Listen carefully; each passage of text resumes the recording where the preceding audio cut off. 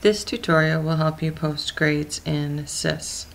The first thing you need to do is open SIS. In the menu that appears, select All Classes.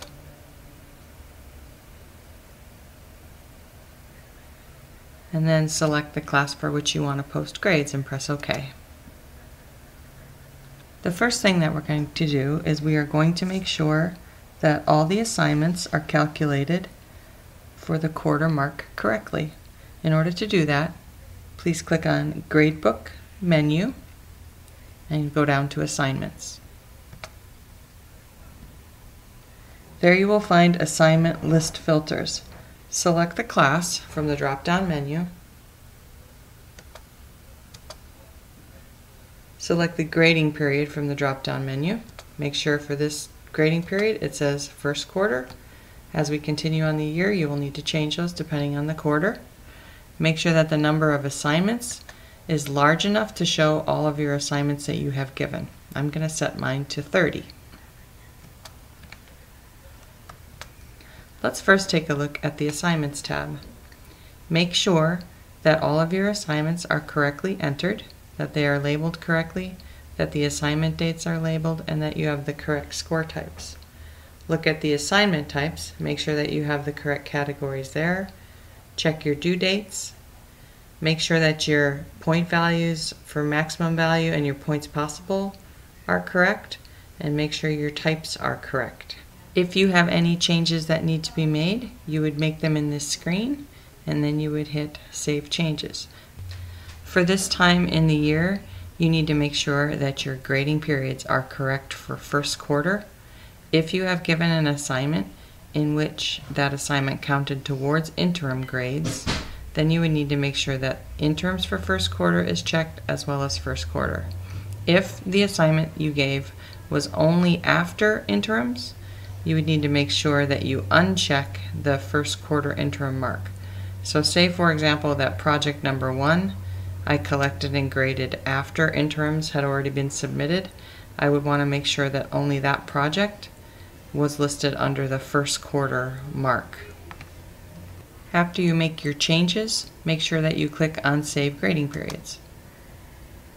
Next we are going to return to Gradebook Main.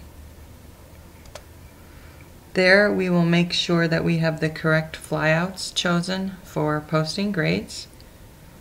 The flyout menu is on your left hand side. Please ensure that you have unchecked show drop students. This mark right here, if you leave it checked, your drop students will show up and when you post grades, you'll be posting grades for those drop students that are no longer in your class.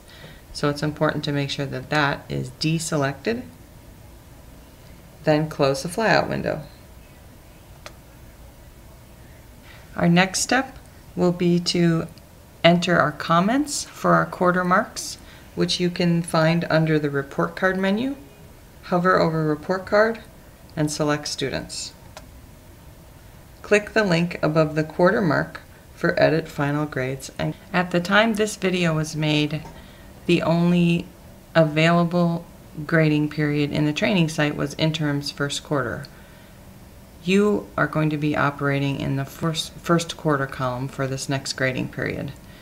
But if you want to go in and edit final grades and comments, the way you access it is clicking on this link above the current grading period for which you are posting grades.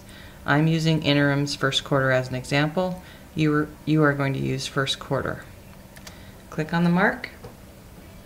At this point you would go into the application and enter your comments. You have a list of comments over to the right.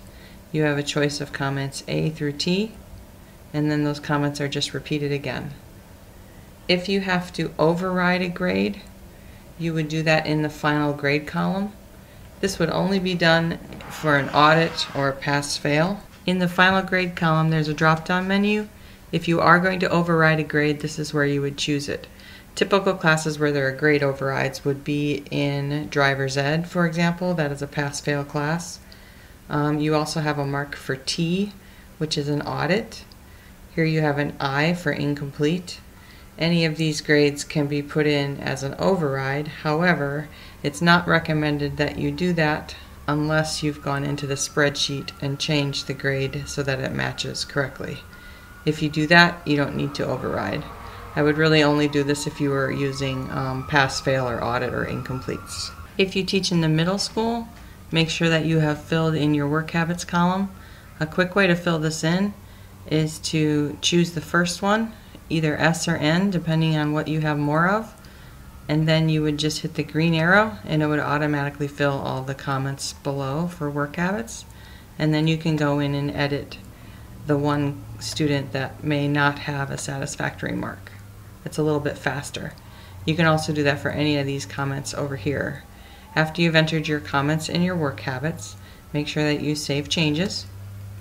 Do not post from this screen. The screen that you need to post from is report cards students. This is where you would post your grades. And again, just to reiterate, this sample is a screen that only allows me to show interims first quarter. You will also have another column and that will say first quarter. Once your grades are the way you would like them to be, you would hit post. And you will get a message here saying that grades have been posted successfully.